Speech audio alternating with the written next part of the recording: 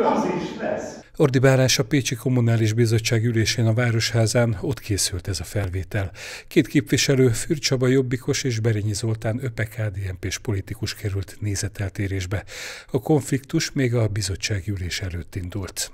Fűr képviselőtársunk köszönés helyett menj a jelzéssel illetett, amit határozottan kikérek magamnak, és kezdeményezek erre egy vizsgálóbizottság etikai vizsgálat felállítását a városvezetés felé, és ez nem marad következmények nélkül. Nyugodtan le lehet ezt így jegyzőkönyvezni. Ezt mondta a bizottságban a képviselőtársaknak az esetről Berényi Zoltán. A politikus szerint a jobbikus társa méltatlanná vált arra, hogy képviselje választóit. Fürcsaba képviselőtársamat felszólítom, haladéktalanul mondja le mandátumáról, mert álláspontom szerint méltatlanná vált a képviselői tisztségre.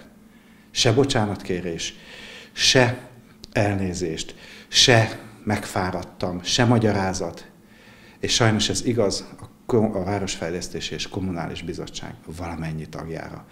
Megpróbálták relativizálni, nincs itt semmi látnivaló, ezt érdemeljük. A képviselő azt mondja, szörnyű milyen mélyre süllyedt a politikai kultúra a Városházán. Ő, illetve a jobboldali képviselők ezzel nem akarnak azonosulni. Az eset valószínűleg előkerül a Pécsi képviselőtestület április 19-i ülésén is. Fűri Csabát is kerestük az ügyben, azonban hiába hívtuk, illetve írtunk SMS-t, eddig még nem kaptunk választ tőle.